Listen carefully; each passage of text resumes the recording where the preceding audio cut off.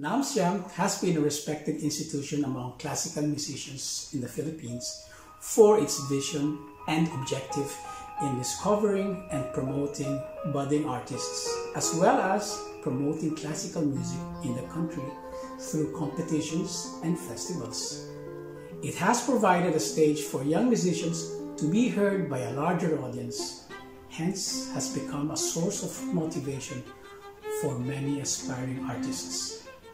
Also, NAMCYA has commissioned Filipino composers to provide contest pieces for the different categories that enable the composers to be heard and discovered by classical music enthusiasts in the country.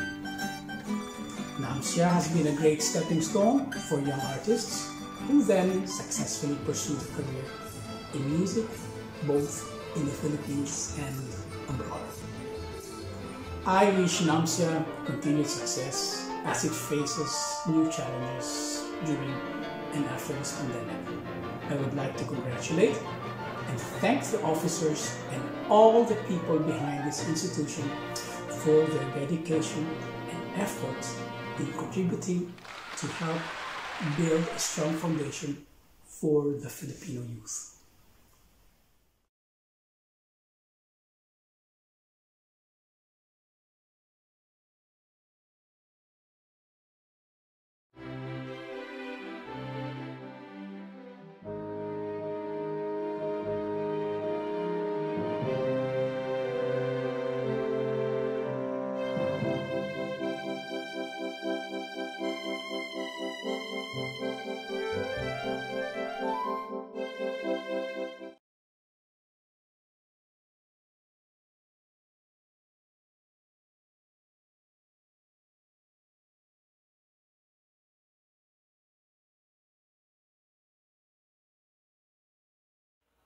Welcome to the 2020 National Music Competitions for Young Artists web seminars.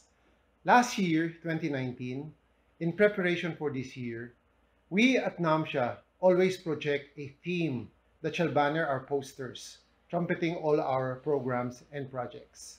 After much brainstorming, we adopted the Cebuano, Tingog sa Paglaom, Sounds of Hope.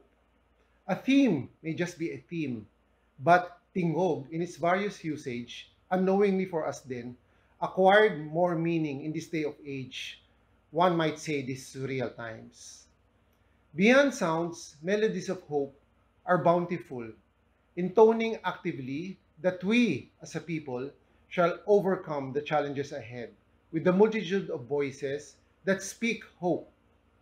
Hope reverberates louder, if not at its loudest this year. In this tenor, NAMCIA 2020 resolves that life goes on. Life goes cautiously on. Life goes on cautiously with music. It is with this gleeful realization that NAMCIA going online, despite numerous challenges, opened an opportunity, a wider reach, you, our virtual audience. Aside from our annual competitions, we hope that this series of online web seminars could appease your anxiety as well as ours that our music world is in a standstill, paralyzed. With the assistance of our network of experts, music practitioners, educators, bearing Filipino sensibilities, we have assembled this series of online seminars that could enrich not just musicianship, but reinforce our faith in the value of our art, especially in these trying times hoping that all of us sustain the best of health with an accompanying peace of mind to days ahead. Thank you. Thank you very much, Dr. Renato B. Lucas, NAMCIA President. Today, we would like to welcome all our participants from all over the Philippines. Salamat po sa inyong pagsali sa ating webinar for today. Welcome to the 2020 Namsha Tingog sa Paglaom Sounds of Hope webinar series. And today, we have a very interesting topic. It's about the Kundiman, Kumintang, Danza Habanera, and other transcultural Filipino music genres. Now, I would like to introduce to you our speaker. She holds a Doctor of Philosophy in Music degree from the University of the Philippines College of Music. She is an Associate Professor of Musicology at the UST Conservatory of Music and presently the Director of the UST Research Center for Culture, Arts, and Humanities. She served as Research Fellow at the Departamento de Musicología Facultad de Geografía y Historia, Universidad Complutense de Madrid in 2015 to 2016. Her research studies focus on various aspects of music that investigates cultural hybridity and music transculturation in 19th century colonial Philippines. Author of the book Kirial de Baclayon, año 1826, Hispanic Sacred Music in 19th Century Bohol, Philippines, by the Ateneo de Manila University Press in 2010, she played a key role in organizing the Musicological Society of the Philippines, established in 2002. Ladies and gentlemen, Dr. Maria Alexandra Inigo Chua. Yes, good afternoon. I wish to thank NAMCYA, especially Dr. Renato Lucas, President, Professor Ronan Ferrer, and the whole NAMCIA committee for the invitation to speak this afternoon. Tingog sa Paglaom, Sounds of Hope, is a fitting theme as NAMCIA shares knowledge on aspects of Philippine music culture on this online virtual space that can reach a wider audience. Indeed, it is during this time of despair uncertainties and challenges that people need to express themselves in order to cope with the times. Music, just like any other art, becomes this avenue of human expression where hope is communicated through these diverse Philippine sounds. I am a historical musicologist that studies the music of our past. I will bring you to the sounds of the 19th century, a most dynamic period in Philippine history what particularly transpired, transpired in Las Islas Filipinas in the 19th century. It was the end of the galleon trade in 1815. It was the end of the early modern period, and it ushers in Philippine modernity. It was the beginning of modernity triggered by economic policy opening the Philippines to free trade in 1834. And basically, um, the propagation of capitalism or economic capital in the country that made possible for families, Filipino families, to bring children, to bring their children to study abroad.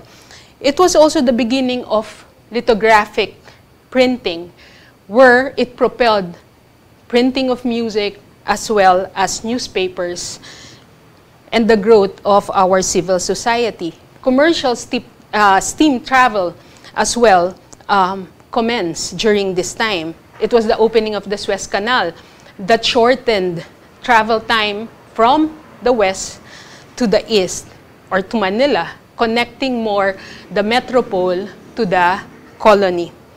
We also had the opening of the telegraph cable in the 19th century. And of course, the beginning of our national consciousness, the Philippine Revolution. This was the time of Gomburza, Rizal, Bonifacio, and many other Philippine heroes. As a musicologist, my interest in the period is a way to partake in some of the earliest evidence of notated or written music produced in the country by early Filipino composers.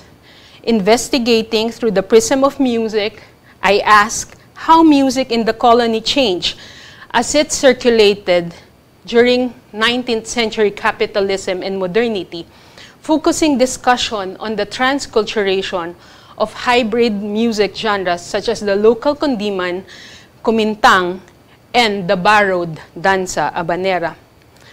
What is presented here was called from my dissertation, Composing the Filipino, Music Transculturation and Hybridity in Urban Colonial Manila. where uh, I spent a year in Universidad Complutense in Madrid and Spain, going to different repositories to gather sources for this study through a scholarship grant granted by the Commission on Higher Education and the University of Santo Tomas. So let me begin. The title of my presentation is Kundiman, Kumintang, Danza Habanera, and Other Transcultural Filipino Music Genre where I will present as well towards the end perspectives in teaching Filipino music. Transculturation, what's transculturation? It is actually a paradigm, it is a, a theoretical framework of cultural contact which offers an ideal um, paradigm in the study of Filipino Hispanic music. It is a theory of cultural change that focuses on processes concerning cultural contact between two or more cultures. It suggests a degree of resistance from a community that bears the impact of a foreign culture. This translates into an active creativity that reshapes both the local as well as the foreign culture, permitting the creation of new and original aesthetic values. As you would see, uh, the Philippines being a colony of Spain for almost 400 years, actually we will be celebrating 500 years already by next year in 2021, is that it was a great trigger in the cultural change of the Filipinos, wherein new forms actually evolve um, and new music genres were adopted as our own. So I tried to look into this. Um, now, why the 19th century? It is basically because it was during this time that we have some of the earliest evidence. Previous to this, in the 18th century, very little has survived, or practically nil no, has survived. I was able, um, some um, uh, studies, scholars who have studied the early modern period in Manila from beginning from the 16th until the end of the 19th, uh, until the end of the 18th century, found only like one music source written for this. But after um, the period of uh, the, the, the, the coming of music printing, the coming of lithography, the coming of peninsular com uh, music composers from, from the metropole, that you see this growth in Philippine music, wherein you now have material evidence, cultural objects of music that we can study. Therefore, I look into cultural hybridity and transculturation, which is the mixing of elements, which is characteristic in colonial encounters, as cultural differences are bound to confront each other intercultural negotiations ensue and promotes two-way intercultural exchange. Actually, the transculturation is a, they say, a better paradigm than what uh, we have, the assimilation or the acculturation, wherein we only imbibe, but actually transculturation is that we actively participate. There is a local response, and that we are actually the ones that make our culture based on what has been presented to us. So what, what am I looking into in this particular study? It investigates agents. Who are these agents? These are the composers, the music intellectuals, the music teachers, and their productions. What did they produce during this time? To examine what has ensued in this musical colonial engagement. It was in 19 1997 that I, start, I started my journey in, try, in, in looking into the music of the Philippines. And the first one, my, my interest came into this uh, particular choir box of Bohol. And I am actually indebted to the people of Bohol for sharing this musical knowledge with me, particularly Father Milan Ted Torralba, also scholars who have helped me in this research, such as Dr. William John Summers, uh, Regalado Trota Jose and Father Manuel Maramba. On, when I did this particular study on the music of Bohol, when I was doing this study way back in 1997, I was a student. I was a master's student uh, taking up musicology at the UP College of Music. And when this was presented, oh, this is not Filipino music. So my, my question was that, how can this be Filipino? what is the process that made this music Filipino when it is basically, if you look at it, it is the music that flourished in the churches in the West that was brought here to the Philippines. But one mass got my attention, and this is the Misa Baclayana that you see in your screen right now. As what you would see, it came from that particular town in, in Bohol, which is Baclayon. And looking into this study, I've seen that it was really the people who even made these choir books made from parchment uh, actually, this was made from cowhide. So this is 126 pages of cowhide. There, you would need like one cow to produce four volumes, uh, four pages of music. So can you can just imagine how many cows were, were slaughtered just to produce this cantoral. But because it is cowhide, it, it actually uh, came down to us. It was not written on paper. So until now, this is actually displayed at the Church of Baclayon.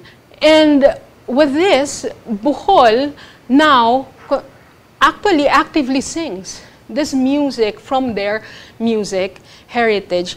Just to give you, this is dated 1824. It's quite, it's one of the earliest um, music sources that we have of this uh, transcultural Filipino um, music that actually existed here in the, in, in, in the Philippines, in the colony during that that time. Just to give you an example, we, we did a recording, and this recording was actually um, granted uh, a grant by the Program for Cultural Cooperation by the Instituto Cervantes. So I just want to bring you to that particular sound of the church during the time where people, no, the, the, the introduction of Christianity, the, the, the coming of Christianity to Bohol. As you know, Bohol now is one of the uh, earliest that has uh, uh, that was Christianized during that time, and and they take pride in in the music that ha has been preserved in in the islands. This is Misa de Sales. It is a polyphonic. It is one of the complex masses. Uh, out of the 26 masses that was in the Kirial de Baclayon, the Misa de Sales presents uh, three voices wherein you have the the coro, the choir or the cantus or the tiples or the girls sopranos, uh, uh, a boy soprano and the soprano singing in alternation with the boys, uh, with the tenors and the basses. So it's just a wonderful um, experience to be able to recreate this music when I did this research way back in 1997. So can we play the... This is Agnus Dei from Misa de Sales.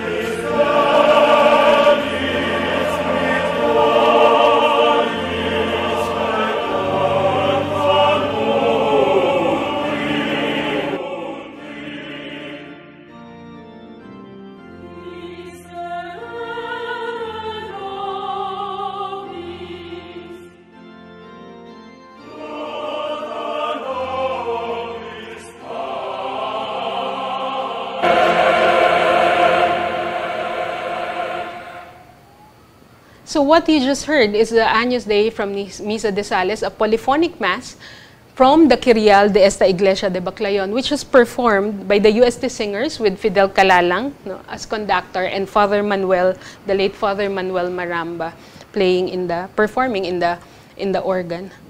So I bring you to that. So this is 1824, just um, right after the end of the uh, of the galleon trade, which ended in 1815. Then I bring you to another period in the 19th century of Philippine modernity when, when the, the colony actually opened to free trade in 1834. This uh, uh, economic policy no, brought so much changes in, in, in the culture of the archipelago. But I want you to point, uh, I want to point you out to these two specific musical notation from the early modern period. As I've told you, very, very little has survived from the music of the of the uh, early modern period, um, previous to the 1834. But these two, actually, um, we were able to, to uh, take hold of this. One is Letra en Tagalog.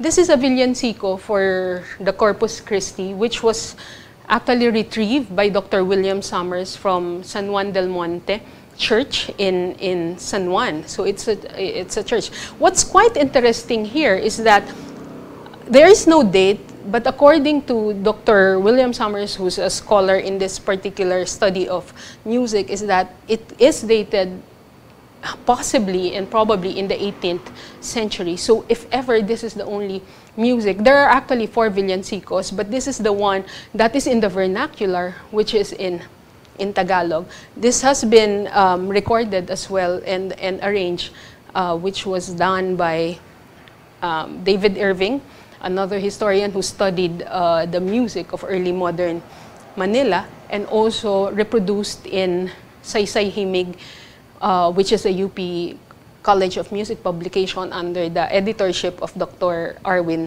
Tan. But the second one, which is La Pampangita, as you see, it's a baile, no? baile canción.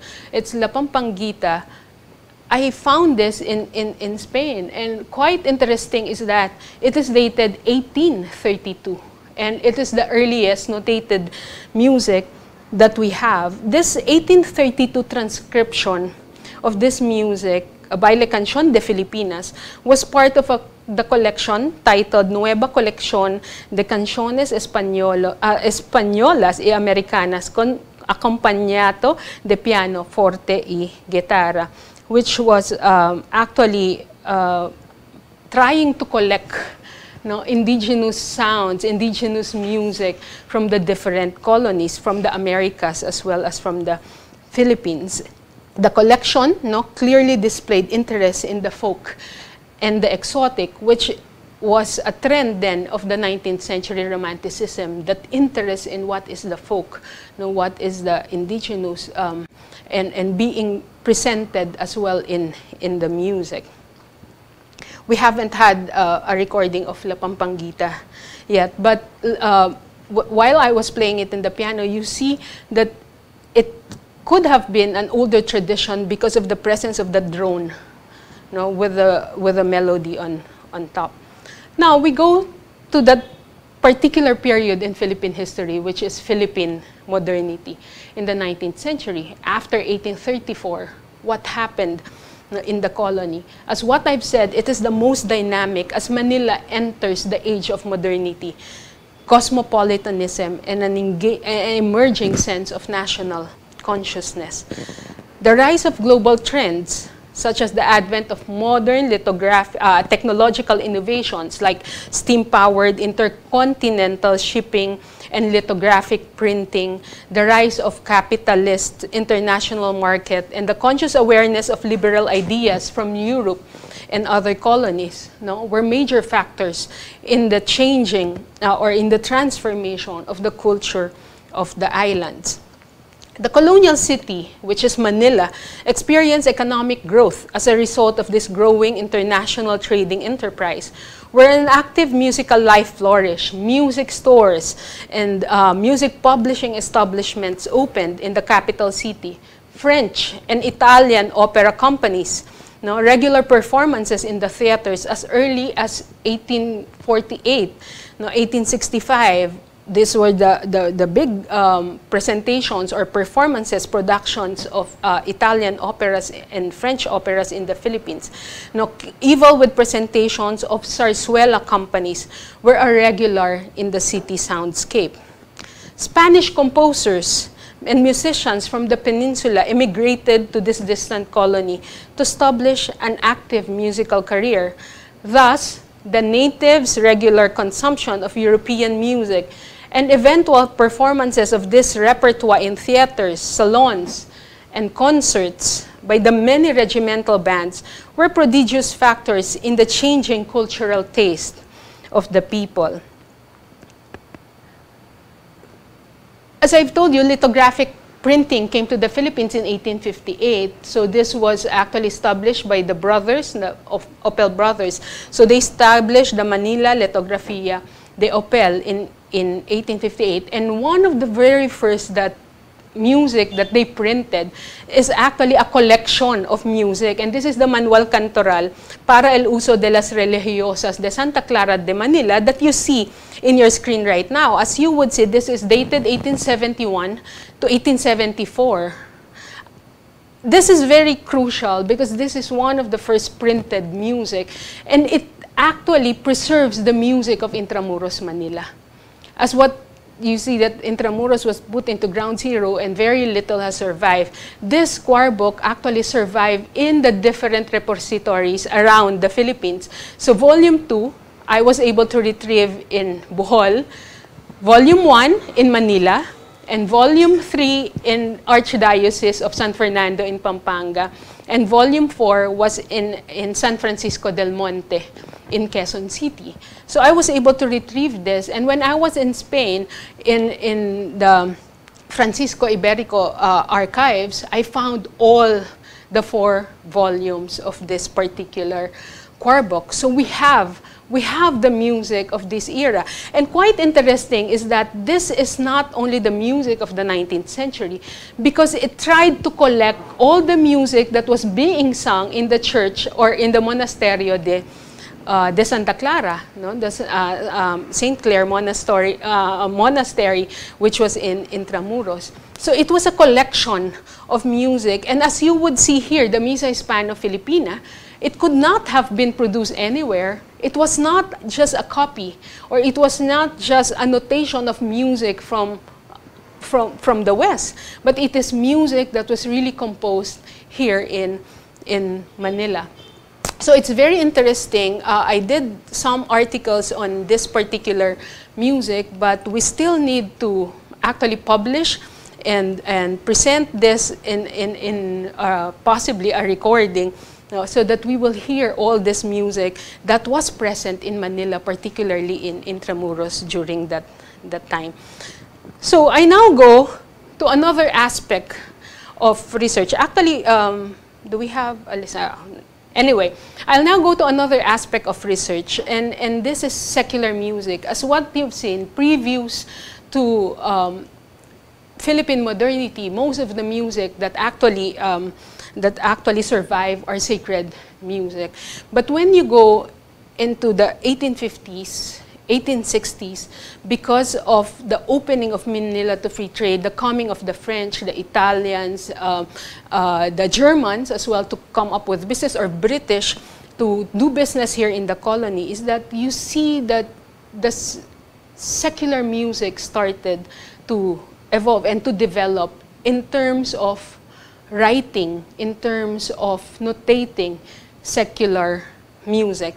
Now, I now go to this particular, I think the kundiman, the kundiman is the quintessential Filipino form. If, if you would look, if you would ask someone, uh, uh, what is a Filipino song? Oh, it's the kundiman.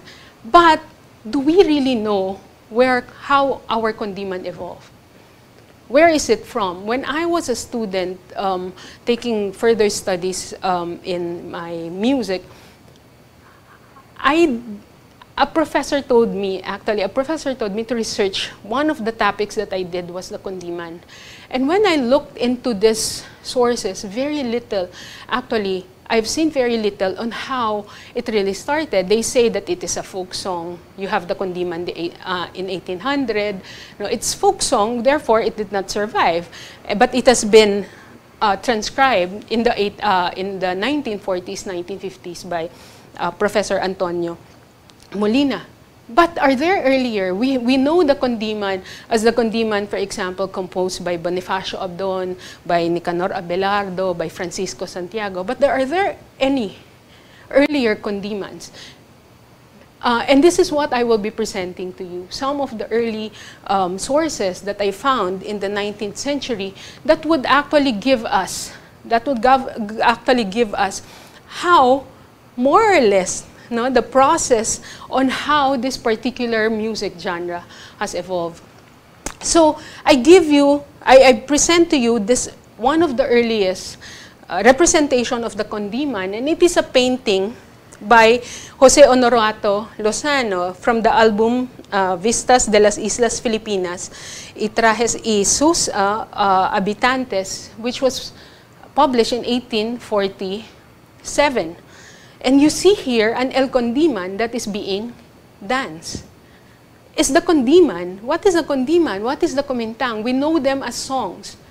But is it really dance? Is it is the Condiman a dance. Then we look into the source. Actually, if you look into the internet, readily it will give you this particular picture of the Condiman. But not many knows, uh, not many knows that there is actually a description of this Kundiman in that particular publication by Jose Honorato Lozano.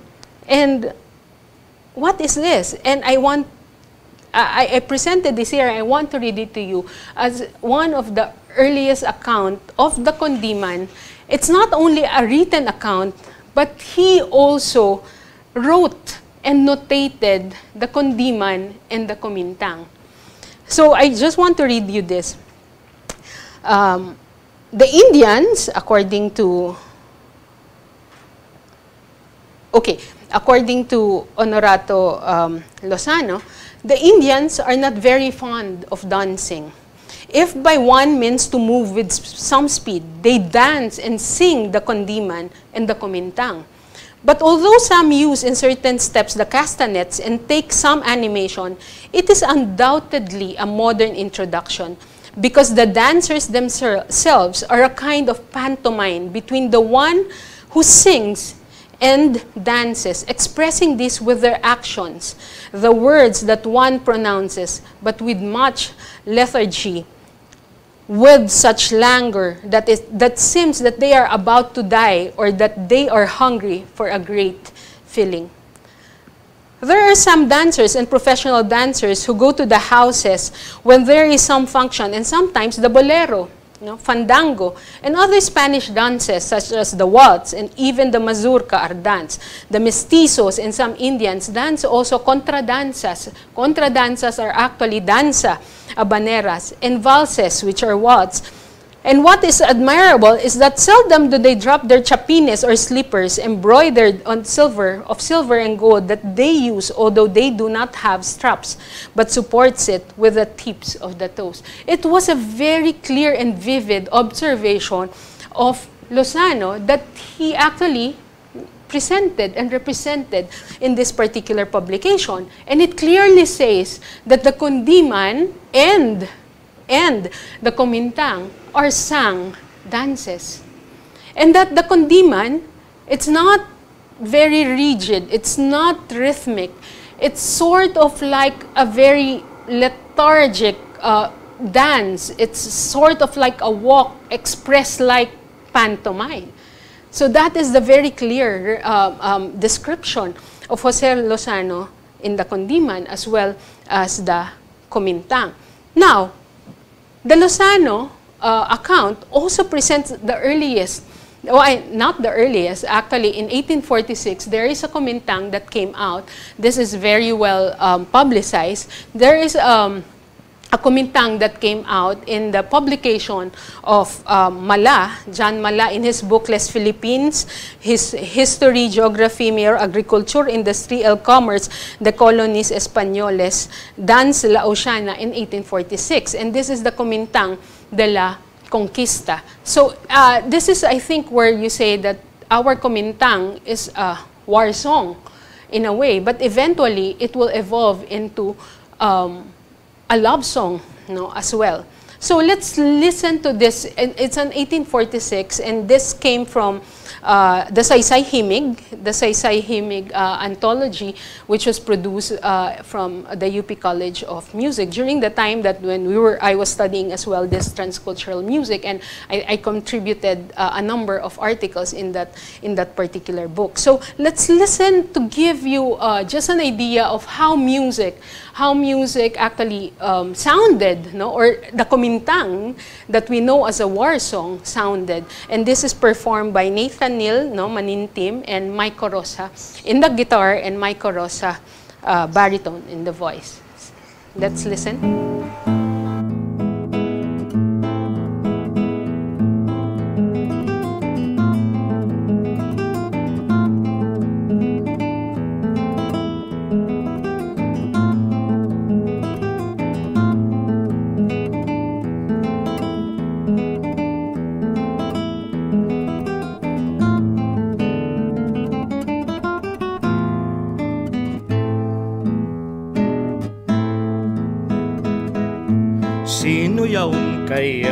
Sa sandaigdigan Ang may dusa nitong aking kahirapan. Di mo na nilingon, pinalungay-lungay Pagsinta sa iyong walang kaliluhan. Di mo na nilingot, pinalungay-lungay Pagsinta sa iyong walang kaliluhan.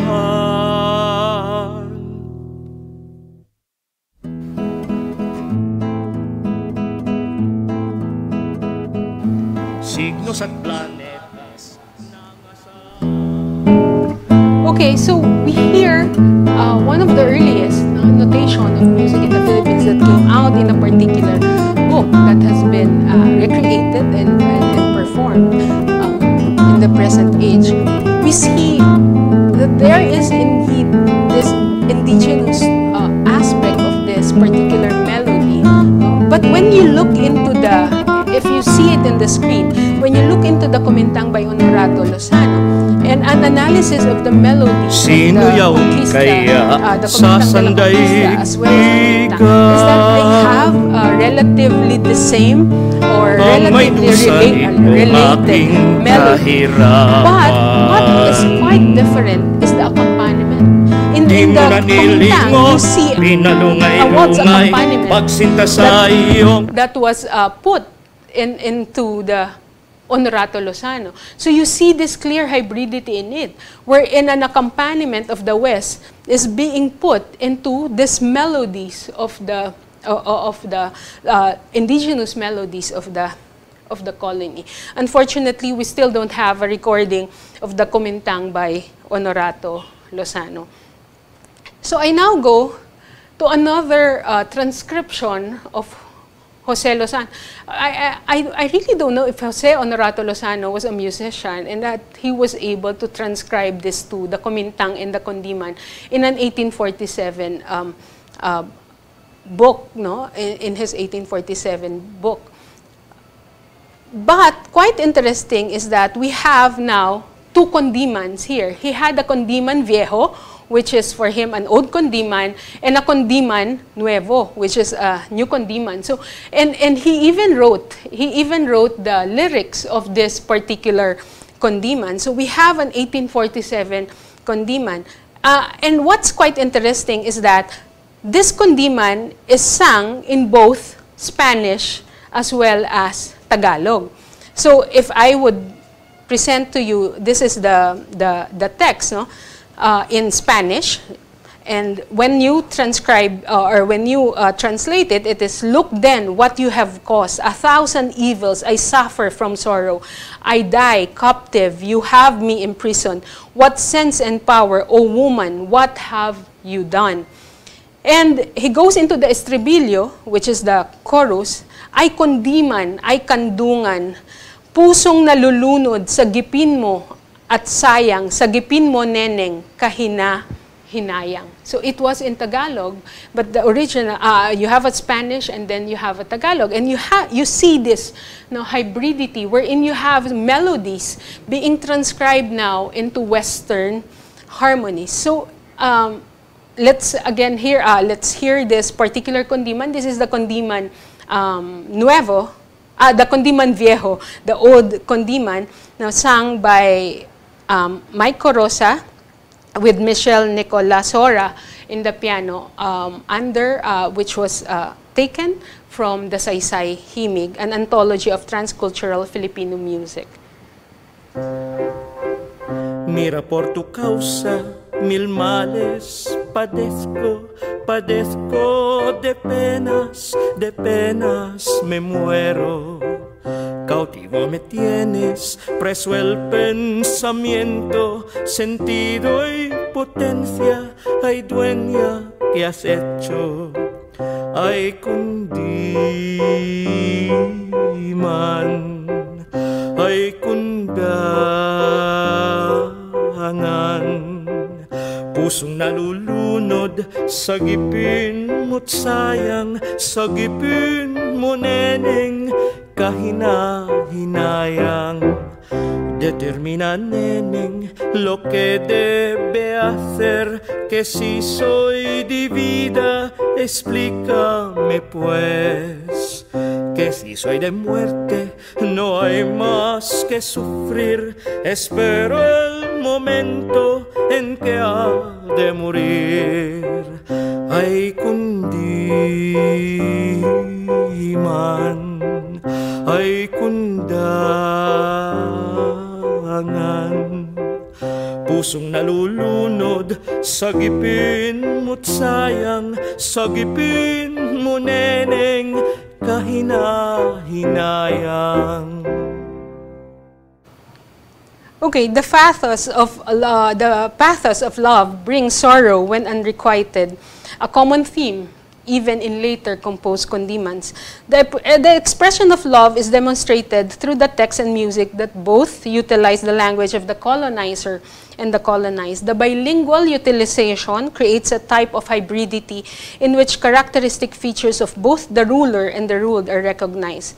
The lament is dance with less energetic movements, thus exhibiting emphasis in melodic gestures done in rhythmic action. But quite interesting is that you have uh, a local melody, an indigenous melody, in that is provided with a very Western accompaniment, which is a waltz accompaniment at that. And the form in itself, which is an estribillo and a copla, is actually a form of the another transcultural genre, which is the villancico. The villancico is one of the very first you know, music genre that came actually to the Philippines uh, as part of our um, church music tradition. Okay, now I go now to the next. This is 1847. In 1847 as well, we see the very first theater produced, uh, produced, established or constructed in, in Manila. I think it was 18, 1846 or 1847 that we see theaters. And this is a picture of the Binondo Theater. I think it was newly built during that time. When Honorato Lozano, it was newly built in Manila, when Honorato Lozano uh, uh, drew no, this, uh, uh drew this uh, picture of the, not really a picture, but uh, a painting of the uh, Teatro de Binondo. Now, why is 1847 very important? With the establishment of theaters, you see now zarzuelas, operas, as well as other theater productions such as Sainetes being uh, performed in the city. And with the opening uh, of the Suez Canal, wherein uh, even previous to that, no, there were already Italian opera companies, and this has been a study of Dr.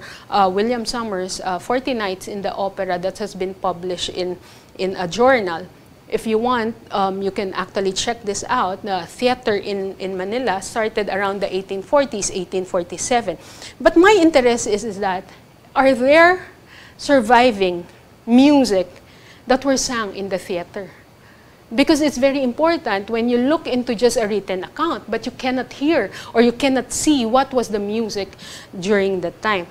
When I was in Spain, I was fortunate to have been uh, to have access the, with this particular uh, newspaper, the La Oceania Española, which started already around 1870, 1871. So I spent actually my months there in the library copying because you cannot photocopy because these are very large papers. You cannot take photos.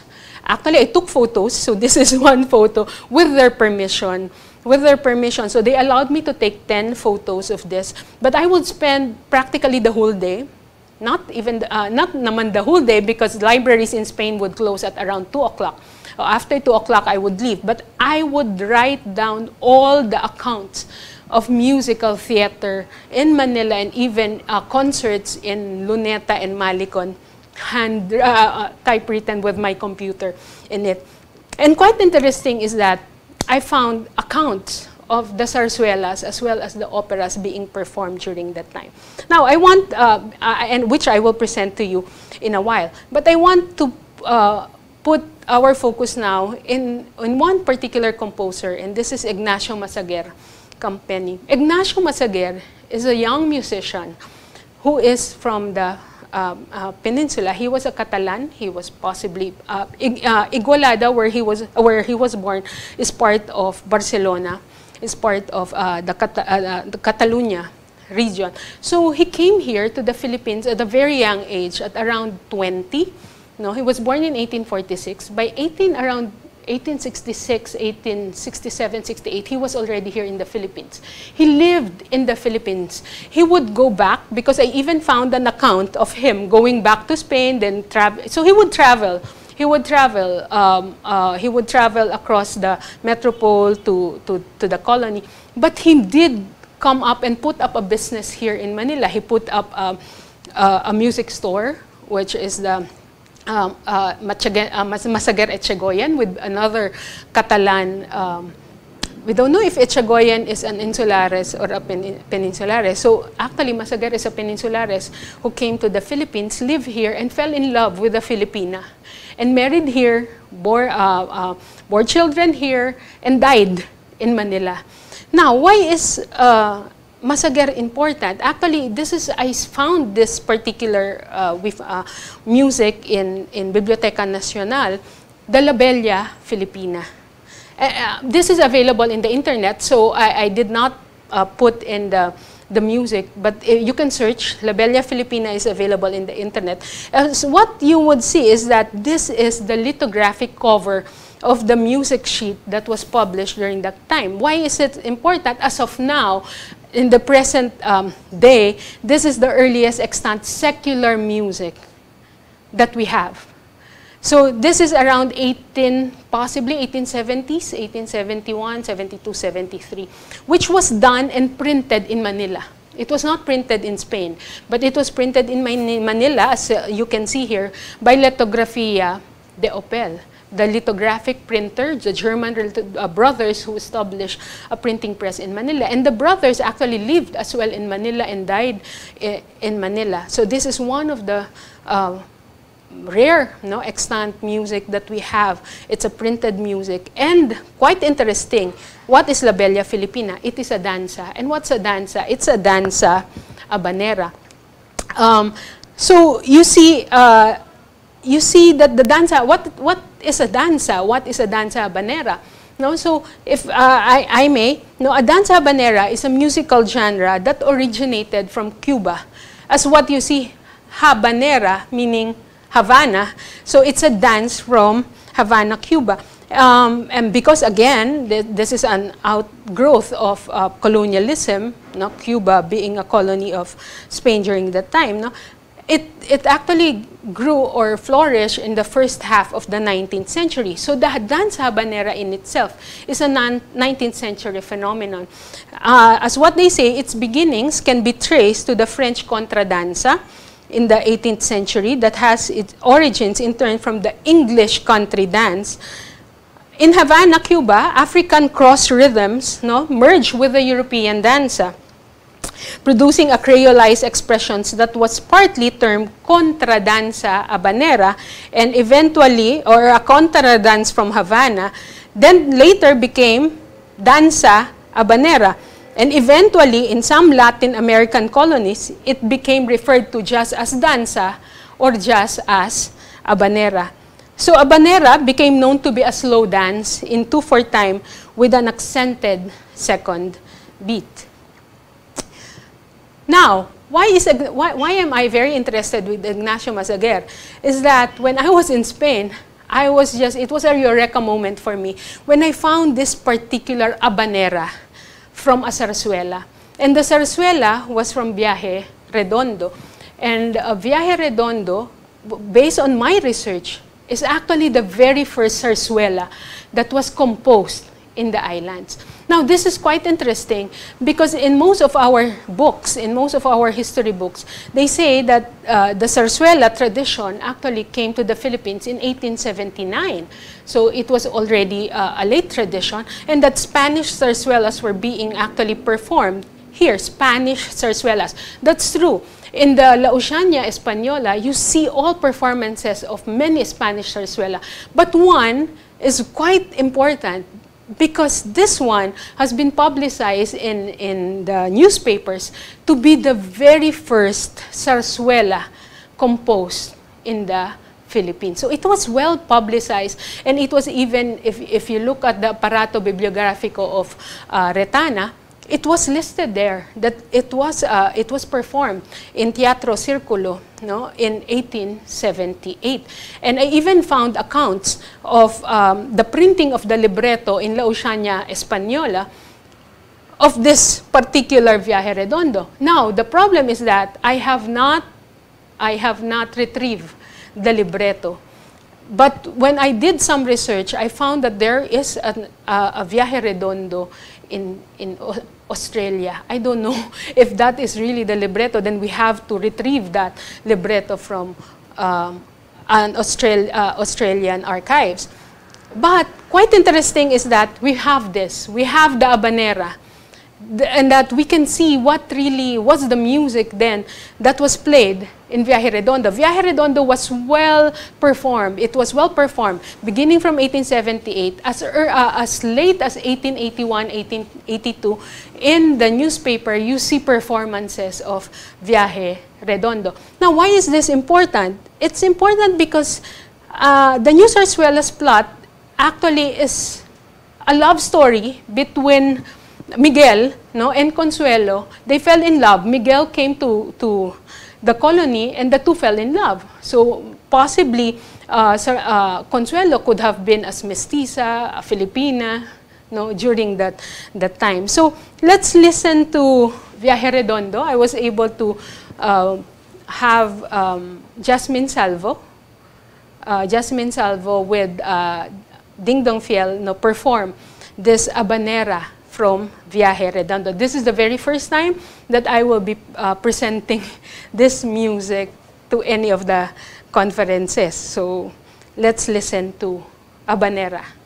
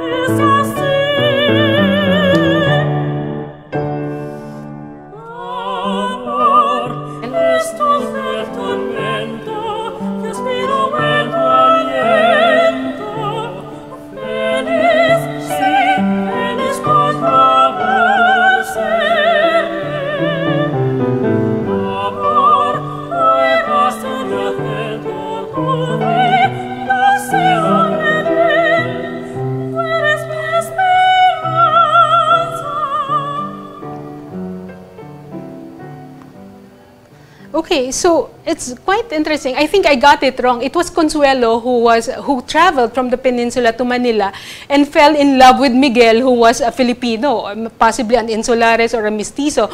But the father, the father didn't want no Miguel for Consuelo because he wanted Consuelo to be married to a Peninsulares.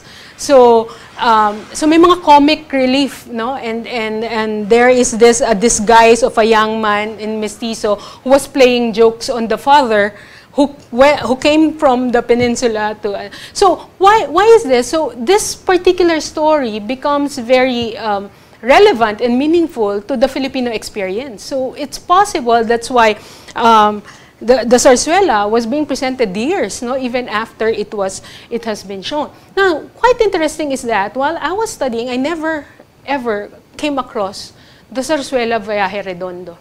So I tried to look into why, why, why is it not written in our history books?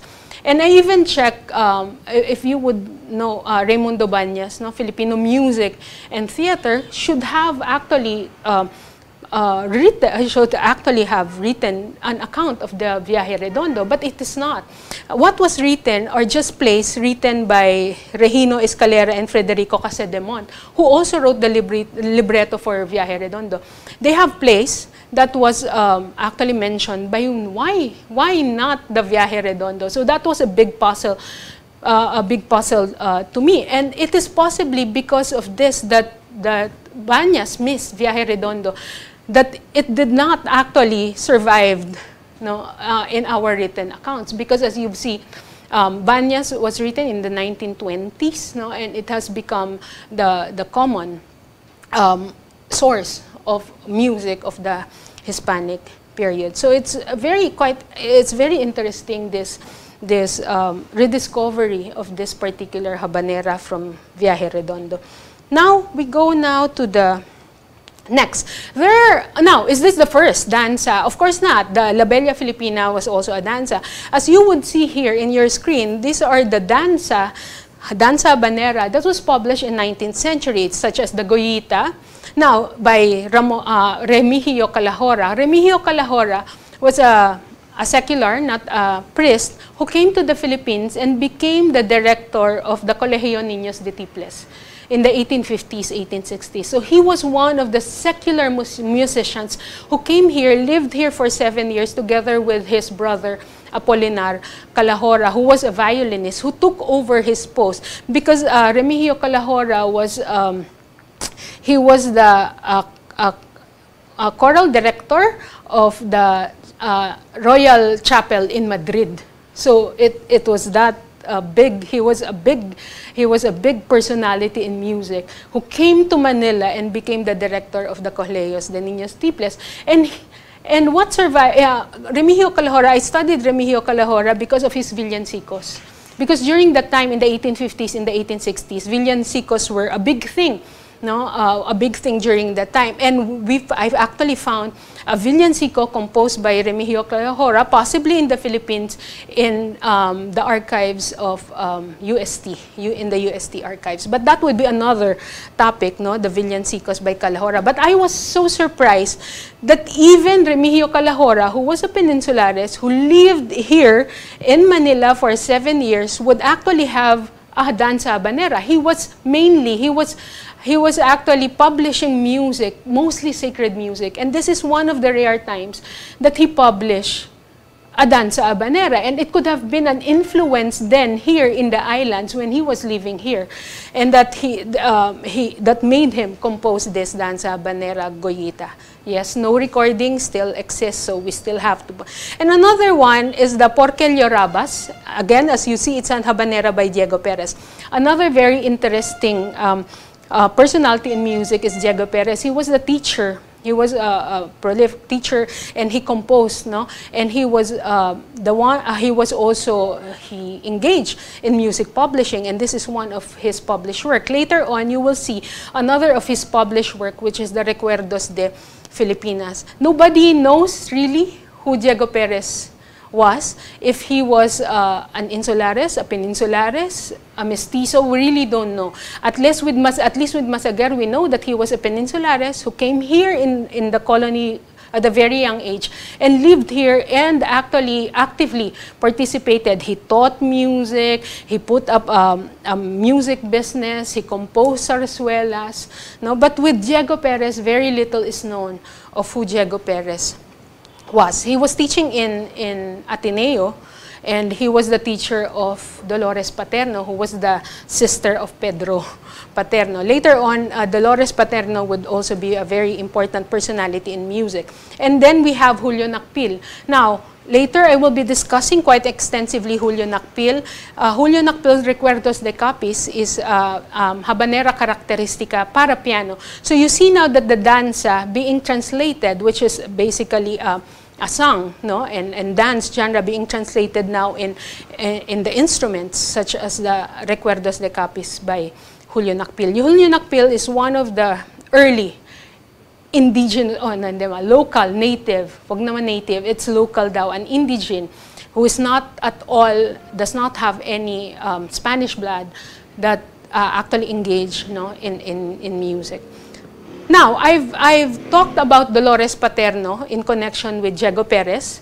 Uh, she was a student of Diego Perez. Now, I, I want you to listen to this. This is now um, a danza a danza habanera titled La Sampaguita, La Sampaguita, or another uh, title is La Flor de Manila.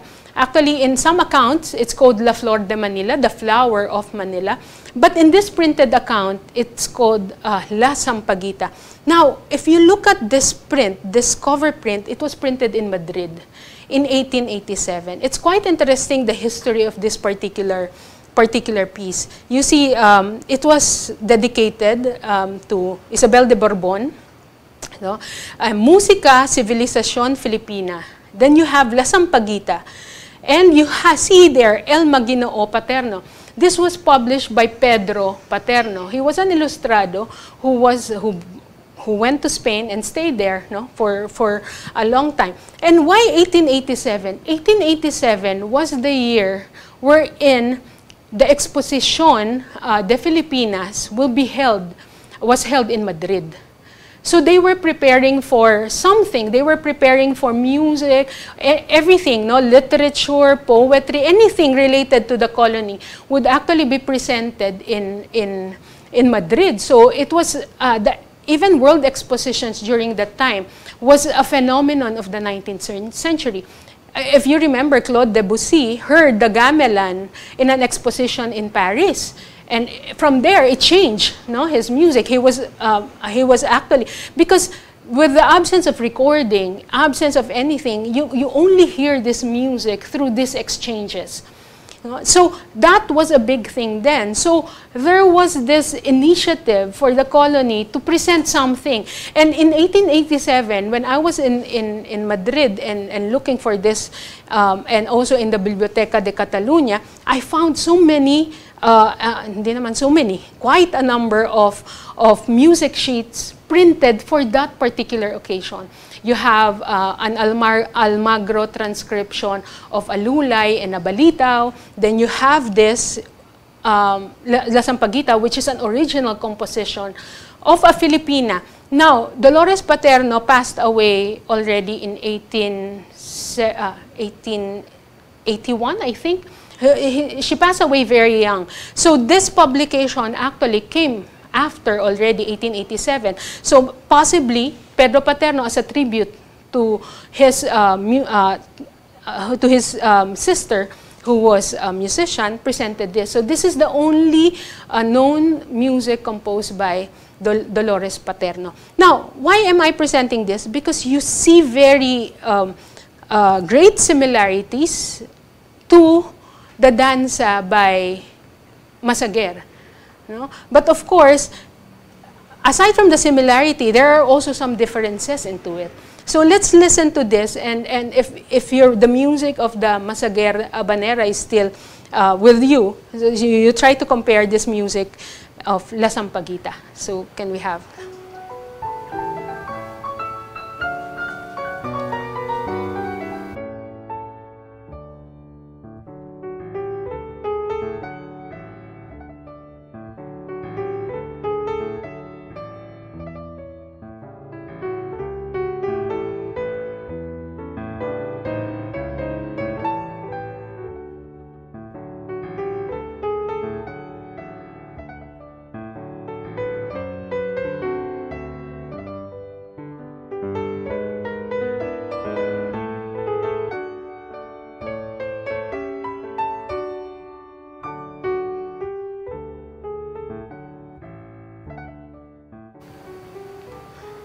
Okay, so if you would look at it and you will try to compare, how is a peninsulares habanera differs with a habanera that was composed no? and, and written by a Filipina.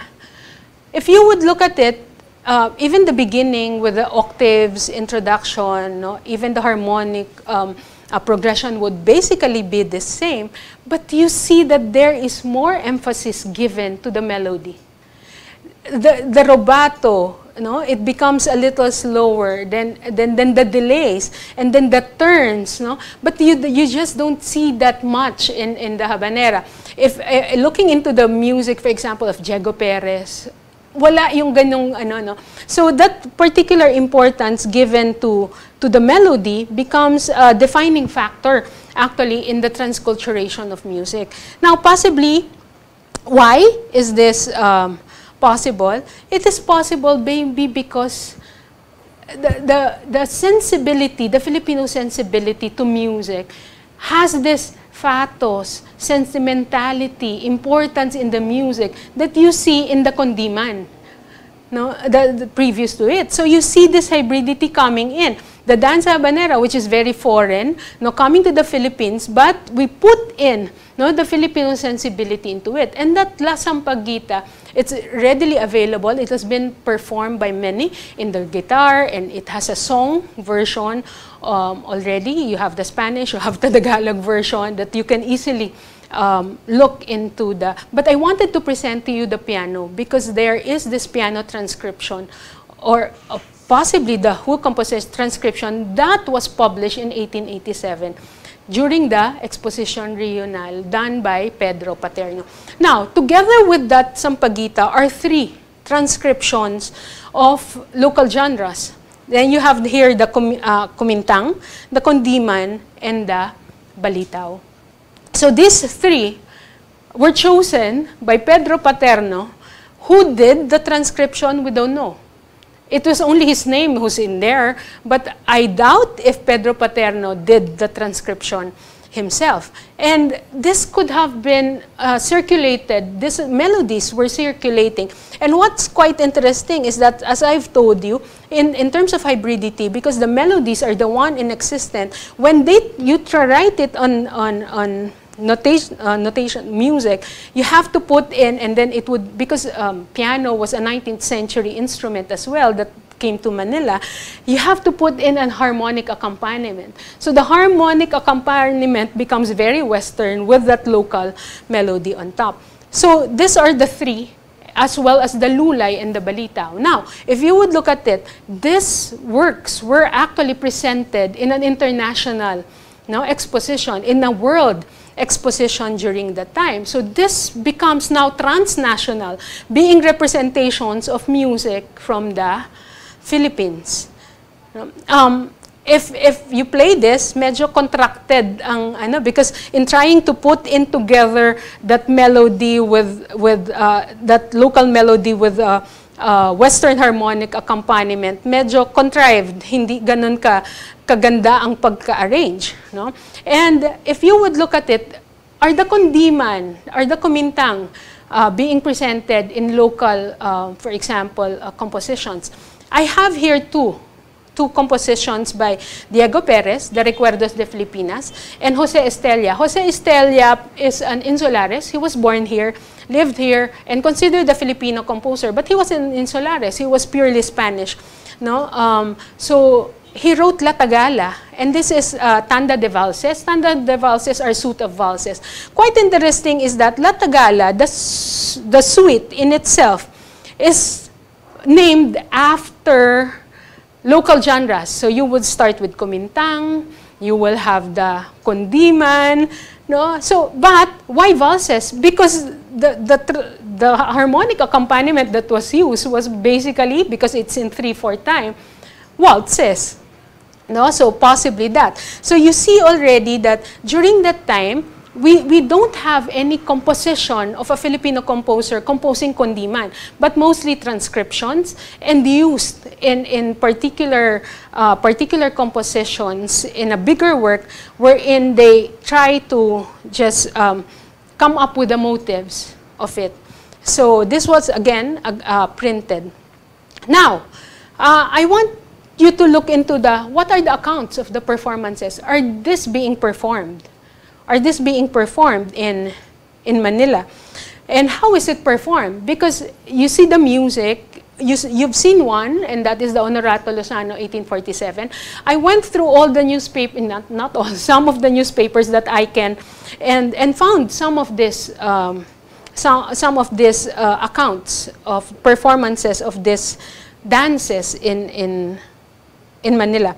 So accounts of the performances of transcultural genre, and if I may read, you know, they dance minuets, contradanzas, which is habanera, and all the dances of the world. The sacatito, which is a kind of fandango. The kundiman, in which two women sing and dance alternately in a pleasant and very harmonious tone. And this is from um, Joaquin Martinez de Zuniga. In an 1881 account by uh, Lorenzo de Ayot, uh, which was published in a newspaper in El Globo, there was a play, there was a musical play uh, entitled Bernardo Carpio, no, being performed in the Tagalog Theater. Ang sabi dito, where the condiman was performed. And if I may quote, uh, these are all in Spanish, so this is already my English translation. Finally comes the end of the drama, Cuello de Cisne, or the neck of the swan. No? Uh, Cuello de Cisne dies like a Cleopatra. A terrible scuffle returns. Bernardo dances the condiman. So it is very clear that the condiman is being performed in the context of the uh, Filipino or the Tagalog theater. No? So the dances, just as what we've seen in the in Viaje Redondo, no, the Condiman was being performed in Tagalog theater. Another one, the Kundiman through Spanish songs in which their greatest glory is to imitate the European in dress, pomp, and customs, have abandoned the old dances of Kumintang and Talindaw for the waltzes, polkas, and habaneras, as well as the song of the Kundiman with Spanish songs that spoil with much grace. So there was an account in 1877 that the Filipino, or the, the, the people of the colony were dancing waltzes, polkas, and they were trying to abandon their local genres such as the Kumintang, the Talindaw, and the Kundiman. Therefore, um, Kundiman and Kumintang, as I would say, are slow, sung dances. They compare them to pantomime, which enacts through movements the words of the song set to regular verses. They are dances characterized by much lethargy, languor, and much sentimentality, and that it, uh, it seems that they are about to die. The text of the Kundiman, sung in mixed Spanish and Tagalog, reflects the languid emotionality as the man falls captive to the love of a woman. He pleads for her answer to save him from this abysmal love. So, um, we never thought of the Kundiman. Uh, we always say the Kumintang is a war song. No, it's a song dance which eventually became no, a love song. And, and the most common Kumintang that we know today is, of course, Mutya ng Pasig by Nicanor Abelardo, which is now technically a love song. But these are dances. The Kundiman, as we would say, it's a love song in three-fourth time. But as you would see, it's not three-fourth time, it is a very slow dance um, uh, wherein it enacts the, the verses no, of the song. Now, I want to go to this, another point of research. If you would look at the period of the 19th century, you have the early modern period wherein uh, mostly sacred music were sung. Then you then it ushered in the period of modernity, no, 1834, 1850s, 60s, the 70s. And then we go now to the 80s. By 1872, the Gomburza was executed. And by 1880s, you see Filipino ilustrados, no?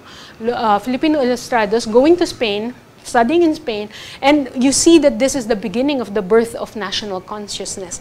And you see another period now in the history of, of in Philippine history, but of course in the music as well. So can, it, this, can this be reflected in our music? By 1888, we have a native, a local composer who was already composing danzas. And this is Julio Nakpil. Julio Nakpil is a very interesting, uh, this is actually my current study now. Uh, it's been almost more than two years that I've been studying the music of Julio Nakpil through a grant given by the Commission on Higher Education, uh, the National Commission for Culture and the Arts, the University of Santo Tomas Research uh, Center for Culture, uh, for Research Center for Culture, Arts and Humanities, as, uh, as well as with partnership with Bahay Nakpil. What are we doing? We are trying to gather all the music of this particular um, local Filipino composer of the 19th century to present it into a critical uh, music edition. We have already um, gathered around 40 plus of his music that will be presented in a two-volume music edition. And we have recorded already most of, almost all of his works, which will be produced in a four-volume recording album. So, very interesting because as you see, almost all his works are basically the genres that was presented to him in the 19th century. His very first work was a Zefiro, which was a polka. But quite interesting here is that even if it's a polka or he, he was composing a banera, he was composing mazurka, no, he was composing gavotte, is that there is this element of um, maturity in his music, that it was not merely the waltz, the, the, the waltz accompaniment with a melody, but you hear some um, imitations already, and then the form. So I want you to listen to uh, the very first habanera that Julio Nakpil composed for the piano. Okay? So let's have La Brisa Nocturna, the evening breeze.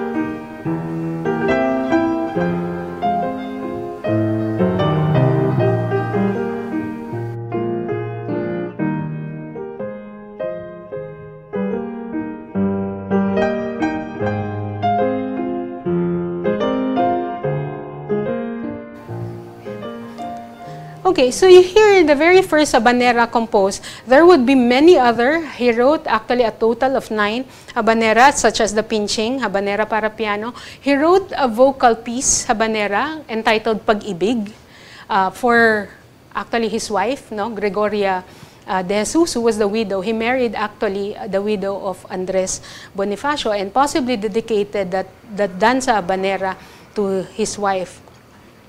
Then I want then this is another um, important factor or component in Nakpil's music, is that he was the very first.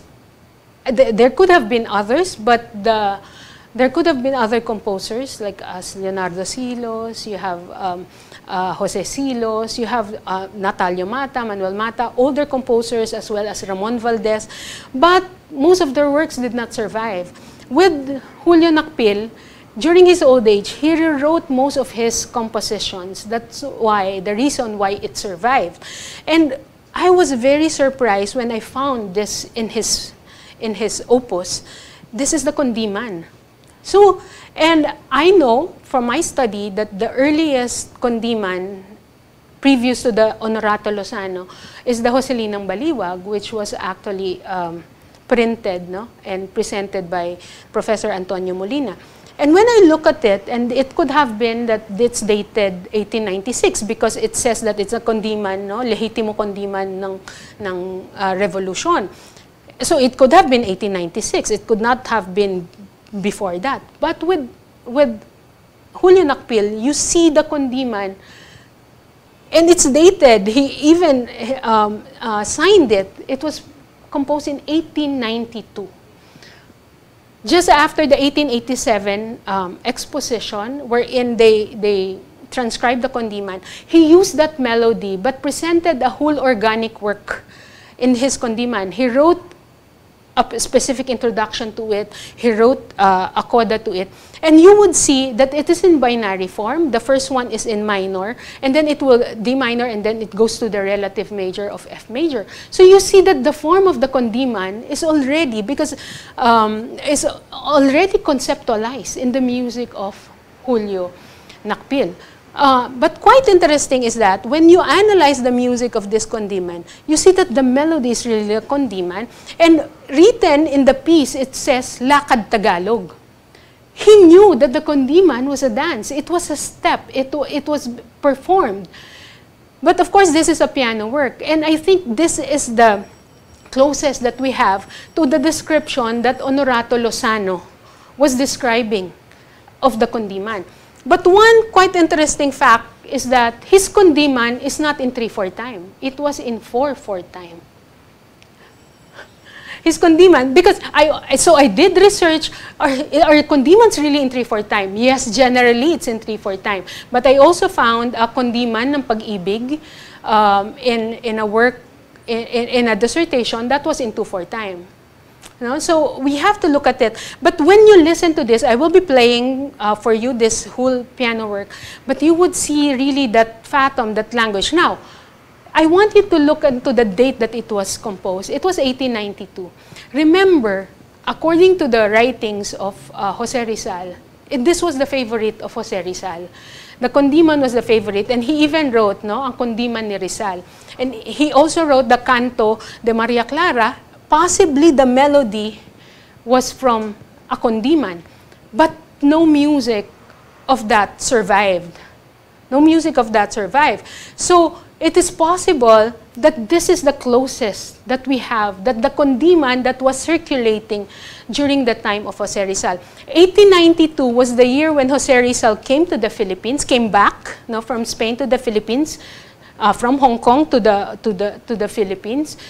And after a few days that he came back, he was actually deported or exiled to Dapitan. So it was during this time that, that this kundiman was composed. And in 1893, you will see that Julio Nakpil will write another song, which is a romanza called Amor Patrio, that has very close similarity to the kundiman, to the text of Jose Rizal's Canto de Maria Clara. So I want you to listen to this because this is the music that Rizal no, had in mind. It was the favorite of Rizal during the time, the kundiman of Rizal's era, composed by um, composed by Julio Nakpil, but from the motives of the kundiman. Or okay, so let's see.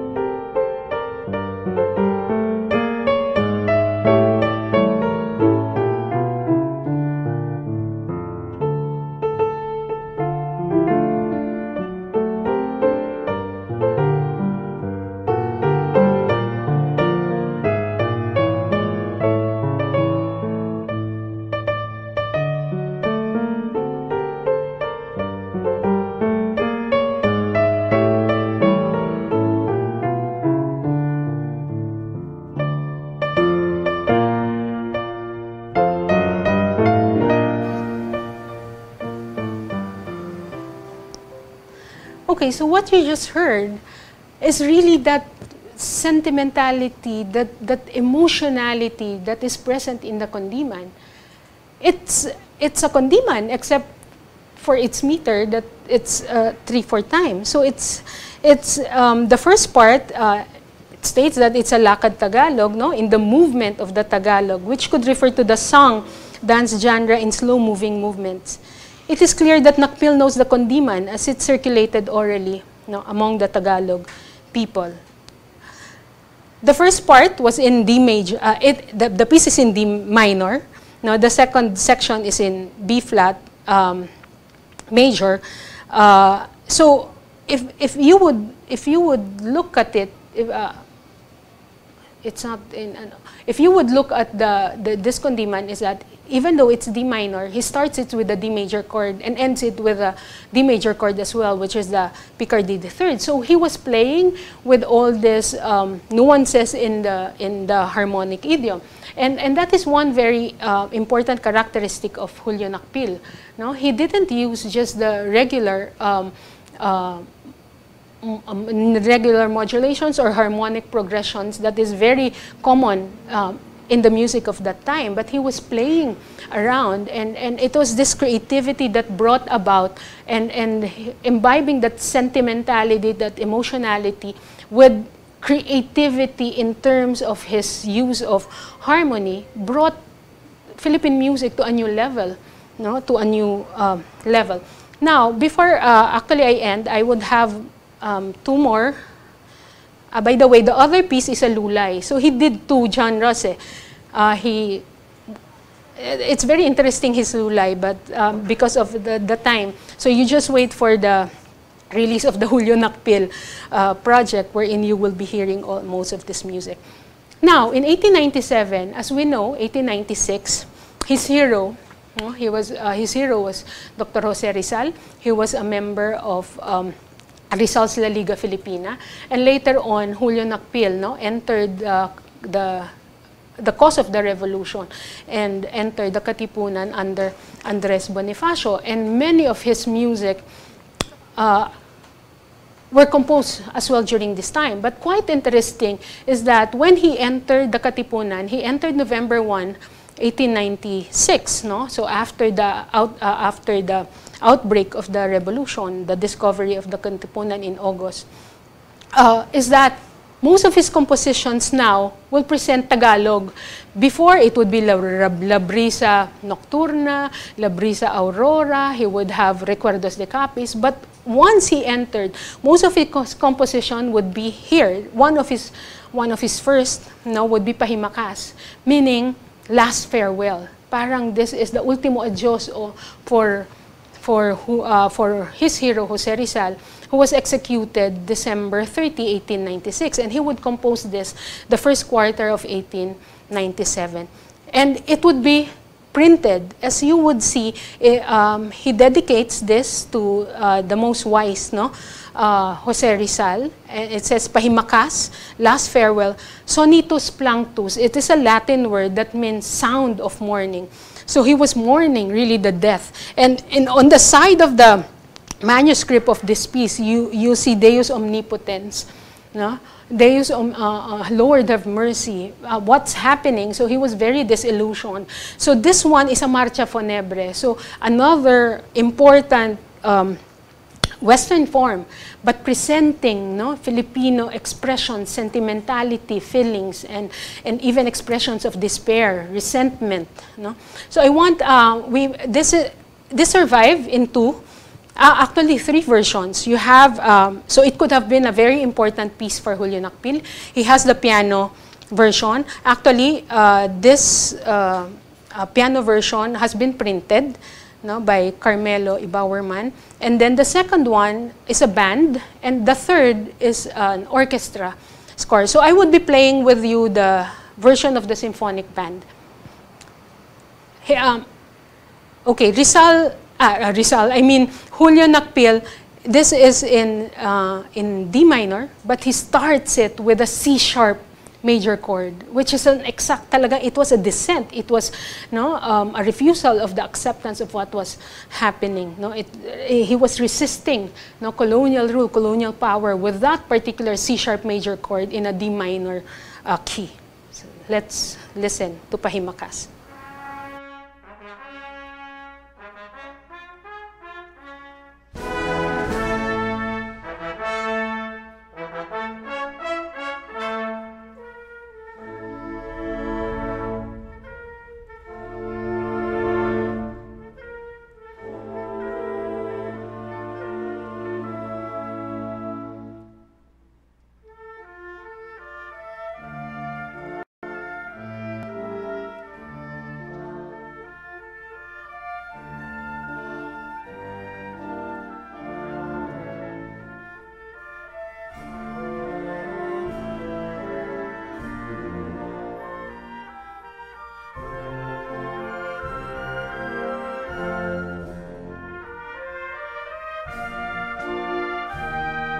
When he was looking into the memory, sige pa, in a, go, in a memory of that long, so the beautiful melodies.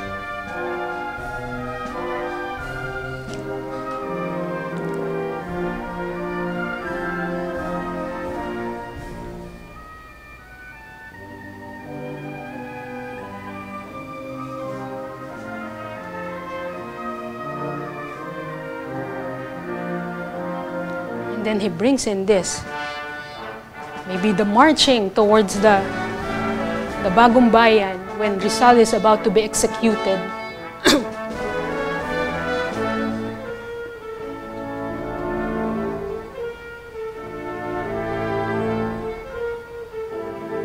and then he brings us the Kondiman melody because according to him, this is the favorite of Rizal.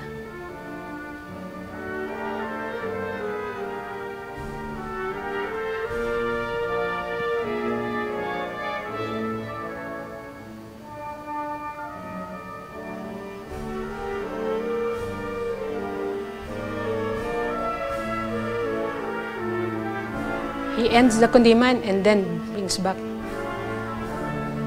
the death.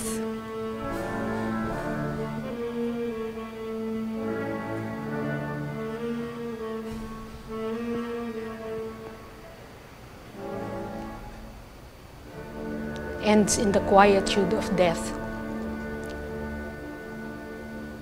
So this is an intensely uh, patriotic piece, no? written by Rizal as to cope with that experience of the death of his, uh, of his hero. So Nakpil used the same Kundiman melody that he composed as a musical quotation in his piano work, Pahimakas, composed a few, uh, a few months no, after the execution of Rizal to whom he dedicated the piece. The composition was published by Lithografia de Carmelo Ibawerman in Manila with Rizal's iconic image printed on the cover and the word Sonitus Planctus, the sound of mourning. The piece was later published on the second anniversary of Rizal's execution in 1898. Nakpil wrote in the printed score at the end, Ultimo adios, last farewell. One can surmise Nakpil's political statement that resonated with other similar representations in public. The piece in D minor commences with a major subtonic chord C sharp major. At the end of the piece, Nakpil brings in the eight measure Kundiman, followed by a dissolution that ends in the quietude of death. And later, of course, there would be more Filipinos who would be composing. And this is the Kundiman that I was telling you. This is a cover of that Kundiman. That Kundiman uh, of Joselinang Baliwag actually is a four uh, set piece wherein you have the Pepita, Dansa Tagalog, Liwayway, which is a Dansa Filipina, Joselinang Baliwag, which is a Kundiman, and then Al Anillo de la Dalaga de Marmol, which is a Tanda de Valse, or the Suite of Valses. And just last night when I was doing my presentation, a very uh, good friend and colleague in the Research Center for Culture, Arts and Humanities, Dr. Jorge Mojarro, who's a Spanish scholar uh, in, the in the university, gave me this piece, and it's called Halika by Juan Hernandez in 1911. And I was so surprised because it is a danza filipina. So this is the very first time I've seen this piece that, that was uh, given to me through email by Dr. Jorge Mojarro just last night. So before I end, I, uh, since most of our audience, um, the, most of uh, people who are listening are students and uh, teachers as well, I would like to present some recommendations. Now, based on this, you know, what can we take from, from this talk? So number one, promote and support um, music knowledge production. No, we need, um, much has yet to be done. Very little actually has been, has been done encourage musicians to go into musicology, no, the scholarly study of music, and contribute in the study of our music. If history needs historians, then we need musicologists to write about our music. We need to do extensive research on heritage music. And quite um, uh, unique actually in research, for example, when you go into history, when you go into literature, is that once you write it, it's done. But for us, musicologists, we just don't write it. we have to produce it. We have to hear the sounds of, of, of that time. And then second is that accessibility of the produced knowledge to the stakeholders, teachers, students, and enthusiasts. We did research, but if this will not be disseminated to them, then we would continue to propagate no, um, possibly wrong, wrong um, information or wrong knowledge of our music. So this digital age facilitates dissemination, that, but this would need support from government and private institutions because for now, it is mostly the, the, um, the work no, of individual um, researchers. We need to come together to come up with a possible no, uh, digital sound and music archives that will be a repository of music materials, recordings, and productions so that it would be readily available to um, us, especially for education purposes. Number three, there is a need not, not uh, there is a need to not decontextualize music teaching. The imposition of a prescribed cultural tradition is in a way a cultural intervention in itself. There is therefore a need for the drafting of a decolonized music education curriculum or a culture-based music education curriculum. And I look into, like for example, the Bohol. Now, Bohol province has actually come together. The church, um, you have the education sector, uh, you have the government sector coming together to actually um, rediscover their musical heritage. And then this is presented to the, to, to the students, to the children to be performed. So we cannot impose, like how would we, in the same way, for example, in Bohol, cannot impose the teaching of uh, the gong music because it's not their tradition, but they can learn it after they are actually grounded in their tradition of their music. In the same way that I cannot impose this teaching. I'm a Tagalog, I don't have any province. And, and what brought me into this research, because I want to make sense of my experience, no? who, was, who grew up in the Tagalog region. No, I'm Tagalog, I don't have any affiliation of any province except Batangas, who is also, uh, who is, uh, uh, also uh, the, in the Katagalugan region. So it really brought me into my experience. This is the music that I was hearing when I was growing up. No, the kundiman, the nasaan ka irog, we would be singing this. No, uh, so I wanted to make sense of my musical experience while growing up. So culture plays a great impact in music cognition that is dependent on their preference, emotion, recognition, and musical memory. Individuals' music learning abilities are greater for culturally familiar music than for culturally unfamiliar music. Heritage is tied up with a place. This is a big no, um, issue now in music education that would need actually to be addressed. And number four, emphasis should be given to music learning experiences grounded their heritage that encourages creativity. It is once they are safe in their knowledge of roots of their heritage that we can stretch out to build new experiences of sound.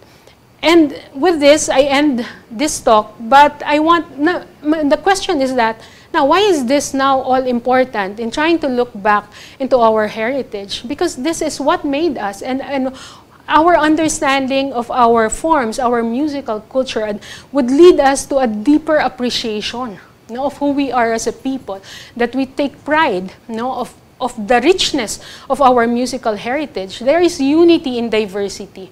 We, we, need to explore and really engage into the rediscovery of our music tradition. And also is that creativity. Um, with this study, uh, I presented this to a singing group, um, Acapelago, the award-winning a cappella group, to try to look into how the music of Julio Nakpil can be heard again no, in, in, in this present day and age. That uh, wherein we can make it more relevant and meaningful to the present generation because the generation that Nakpil wrote this was the generation of Rizal. And then they did this, so I want to present to you as the, the ending of this. They did uh, actually, um, they did arrange Amor Patrio. This is Rizal's um, Canto de Maria Clara, uh, a text from Noli Me Tangere, wherein Julio Nakpil wrote music. So Amor Patrio, meaning love of country. The text is in Spanish, so I asked actually my mom, no, to, to create, uh, to transcribe and create uh, a Tagalog text for this. And then the Acapelag, uh, Acapelago wrote, uh, uh, made an arrangement for this. So I want you to listen to this Bayang, it's now titled Bayang Mahal from Omar Patrio.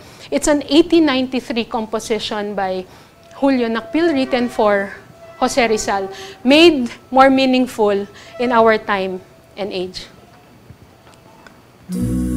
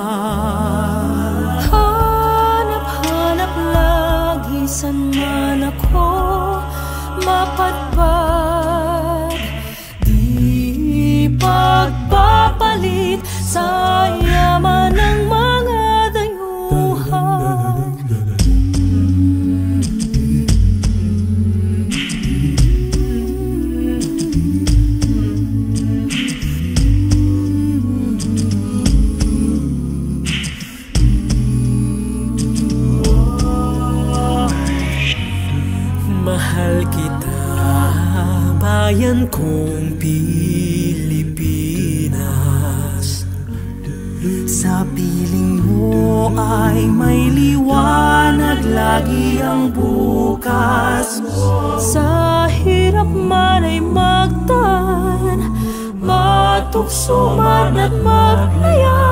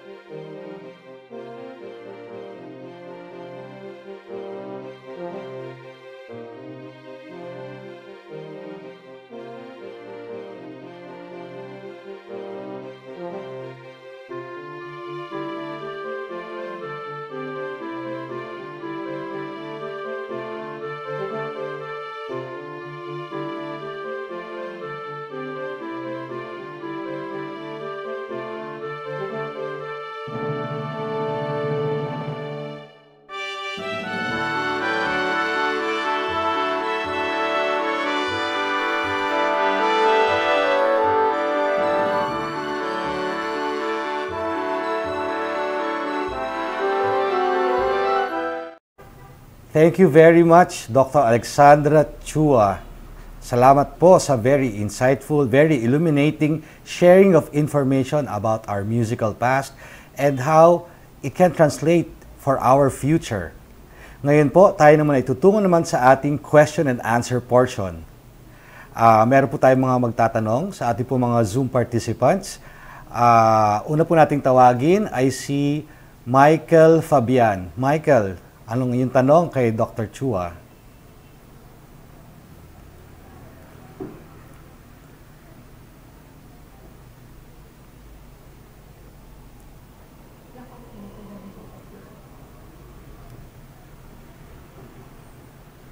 Po, Ano yata? um, yes. Ayun.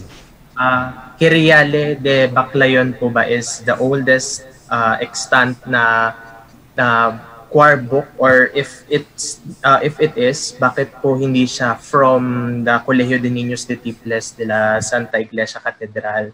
Tapos second po is regarding Kumintang. So we uh, it is given po na Kumintang was originally a war song. Um meron lang pong question on how how did the subject of Kumintang turned into a love song from from uh, its previous subject of being a war song. And yung third po is is there a significant difference between uh, Spanish and Filipino zarzuela? Oh, okay. Thank you so much, um, Michael, for that questions. So three. The first, the the Kirial. Why is it that um, it's not from the Colegios, the Niños, the Tiples that we have the oldest extant? Basically, it did not survive. Apparently, um, if you would know that Manila, Manila was put into ground zero, that so many losses of our um, musical and cultural heritage actually um, got lost from that, and and the difficulty in retrieving that uh, basically uh, is the reason why we don't have much of our music. That's why in music now we go to the peripheries, we go to the regions. Like for example, the the the Kirial is 1826, but it could have been um, re, um, so much related with the music of Manila then, because uh, Diego, um, uh, Diego de la, uh, um, de, um, the organ builder, uh, Diego de la Serra. Was actually from Manila, but he was uh, uh, the vicar of Baclayon. That's why in Baclayon there are many organs. But the only thing that survived in Intramuros during that time was actually San, Sebas- uh, San Agustin Church, wherein you have that organ. But much of the music, I have, I, I did a research as well of the choir books of San Agustin, but it's difficult to date it. So as of now, the earliest that we have the study, it's not the earliest um, notated because as what you've seen, the letra in Tagalog, is from the 18th century. But we have very little uh, materials, music materials that survive. So we need to go to the provinces or even to Spain to try to look into what survived in, in our um, music. And the, the second is that about the war song, uh, the Kumintang as a war song. Again, we will never know. Why? Because evidence is not there. So the only thing for now that we have is the mala for the Kumintang and that Honorato Lozano, which is 1847. Remember that our study is the basis is really evidence. No? And without any evidence, we will never know at all. And, and I want to point out the, the importance no, of keeping keeping our musical heritage. Because once it's lost it's lost and it will be very difficult and possibly no it would be lost forever and that it will never be retrieved at all and it will be forgotten in our history. So with being a war song it's because yeah Kumintang de la Conquista, possibly, no, war song. But even if you look into the words, no, there is already the tinge of a love song, not not just a song, but a dance, no, song genre, no, for the Kumintang. It's good that we had, we were able to retrieve um, some of this in, in uh, from the 19th century that we have now a, a more understanding, but definitely this is not uh, conclusive because remember uh, the study of evidence, uh, the study of history, the study of music would always be, be dependent on the evidence that we have. And, and the third, uh, sorry, I forgot your third question. Uh, is there a significance, uh, significant difference between Ah, uh, the Spanish and the Filipino zarzuela? Yes, of course. Actually, for one, it's very, very different. As I've told you, um, in trying to adopt, in trying to adopt or or uh, get, it's not just a question of mimicry. It's not just a question of imitating it. There would always be something of that person that will go into it. And as I've told, uh, as I've um, shared with you, with a very limited. Now, one also problem is the zarzuela. No? Uh, we really don't know anything about the zarzuelas of the 19th century because we don't have extant music for it. That's why I was. It was a eureka moment for me when I found when I found that Viaje Redondo um, habanera because even our 20th century, early 20th century zarzuela, our zarzuela, the seditious plays, no, the libretto is extant, but we don't have the music. We don't have much of the music. It's a good thing that we have uh, Walang Sugat, no, which is uh, the most commonly performed zarzuela, but most of the zarzuelas, I remember a friend, no, um, Carmen, uh, during the time was studying the zarzuela, and that was one problem, is that we don't have the music. And I attended one conference of the zarzuela uh, with uh, Dr. Doreen Fernandez during that time, and, he and she was saying, yes, that's our big problem. We have the text, but we don't have the, the music. It is very possible that some of the music of this could have thrived in oral traditions um, because zarzuelas is not only limited in the Tagalog region, there is also in the Visayas, in um, Ilocos, no? So music becomes a defining factor for this. And without writing down the music, without a written account of it, no, there is always this possibility that it will be lost. So there is definitely a big difference. Yung sinasabi nga nila sarsuela that has been transculturated to sarsuela, which is sarsuela with the Tagalog, no? A S A R S W E L A. So um, it would be very different when you look into. I was in Spain and I was um, watching, no, the Baroque zarzuelas of Spain. Oh, it's so different, no. Even the 19th century zarzuela is very different because um, in in trying to come up, we have this.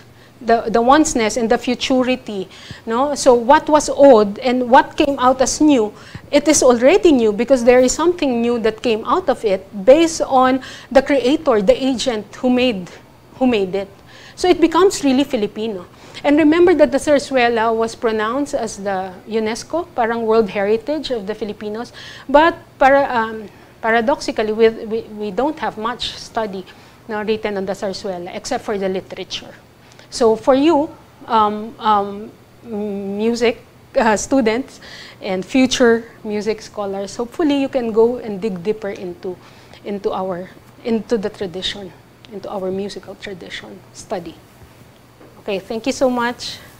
Thank you, thank you, Dr. Chua. Uh, we have our next uh, participant who will ask a question. Uh, but because of due to time constraints, uh, please limit it to one question.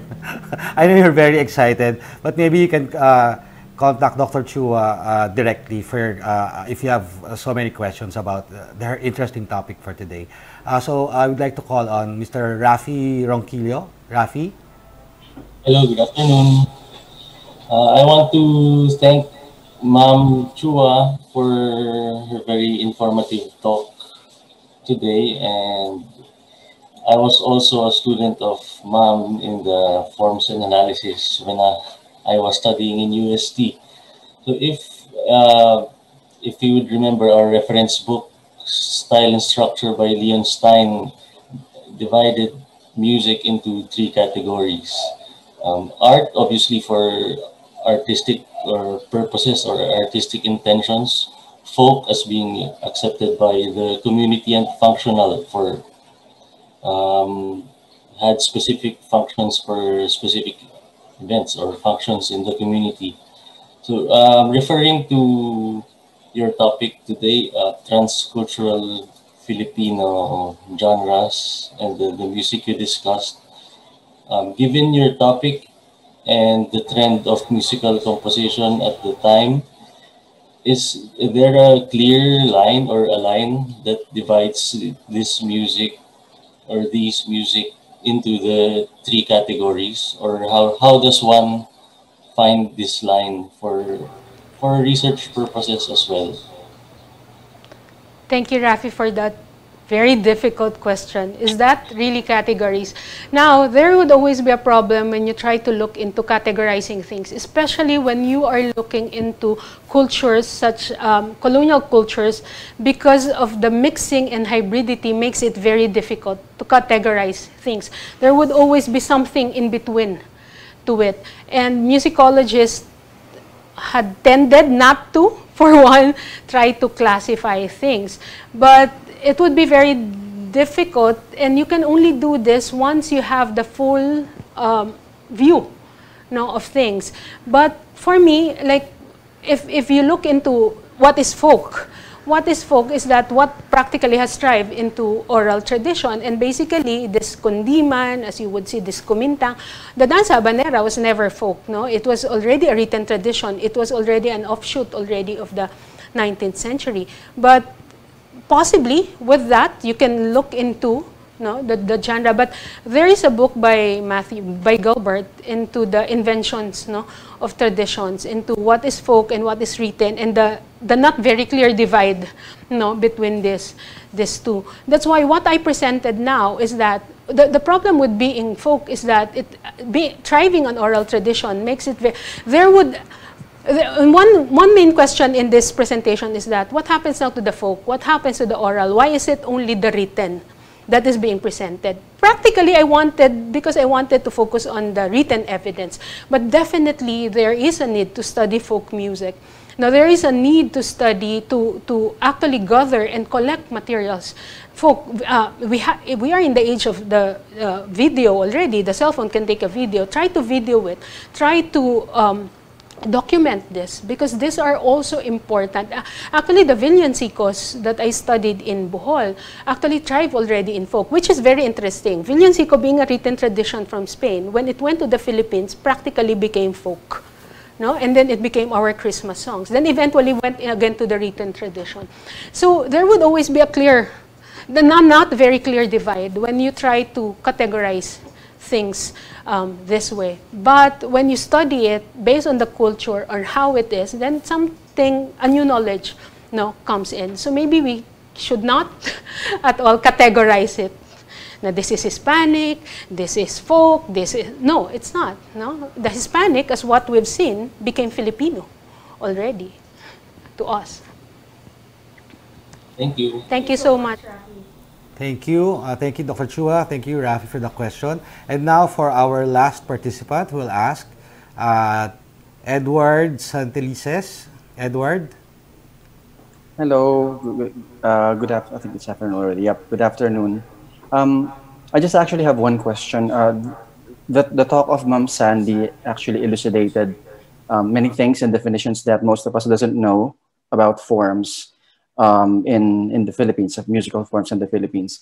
Um, as, a, as an educator, um, my only question is about uh, the practicality. Is it still practical to have these definitions be corrected uh, in textbooks, the, the textbook definition uh, of these forms in basic education, most especially? Um, and um, or should it be left to the to the to the students in their own um, research initiatives uh, to actually discover the the definitions of these forms? Thank you so much, um, Edward, for that question. Yes, it is very imperative that we study no, our music. Let scholars study their music, uh, our music, so that we know that what would be propagated, what would be disseminated, has been thoroughly studied.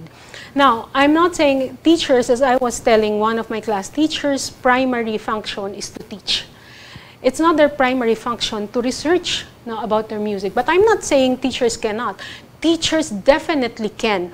And if, uh, like most of you who are taking uh, further studies in the study of music would definitely can actually uh, uh, go into the research of, of music and uh, contribute to the production of, of knowledge. And you in itself are being musicologists in that way. But for example, teachers who does not any have any knowledge of music and what they only have access to is the internet, is that we will be propagating things that has been written by any person without really the knowledge of our particular music culture. And that is the danger. That's why I would want to look into really research-based you know, study of music in the Philippines and that this importance of disseminating it. So how can we disseminate this to teachers? I remember sitting in one of the DepEd um, uh, meetings during that time, wherein we have to review textbooks for music. And my question is that most of the textbooks were written not by experts in music. So there are quite a lot of mistakes into it. And number two is that it's all written. And I was saying, where is the recordings of this? It's not readily available. So there is really a need to rethink how we can disseminate you know, music uh, from that has been studied actually by experts on Philippine music, just like musicians who have studied their music cultures in their particular region. And I would want to focus also that it's cultural. You cannot impose no, something that is not part of your culture, but you can actually study them if it is readily um, available. So there is really the need for support for a national thing, a, a big program to be able to have know, to have um, uh, valid and um, um, sources on, on Philippine music. Because always, almost always, when I was teaching, teachers would tell me, Mom, I don't have the recording of this. Do you have a recording of this? Mom, saan po ang pyesa nito? Mom, where can we get it? Where can we get a zarzuela that we want to present, for example? It's none. None. We don't have it. We don't, even just recordings. Um, you are being asked to discuss this particular music, where, where will I get it? In the internet. But who did that? So it's really a big um, a problem. Um, uh, the, we need the support of the different agencies really to, to look into how we can generate no, the knowledge society, particularly in, in the production of knowledge in our music, in our, in our culture, particularly music. So thank you, thank you so much, Edward, for that question. Thank you, ma'am. For all our participants, thank you, Dr. Chua. Um, so I guess that's it for this very, very exciting, no, very illuminating uh, uh, lecture for today. And um, so uh, we'd like to invite you again next for uh, next topic. Uh, for the next time, we have singing Philippine folk songs with bamboo instruments uh, with the speaker, Professor Dolores Andres. So tune in again next time and thank you very much. Ayun. Thank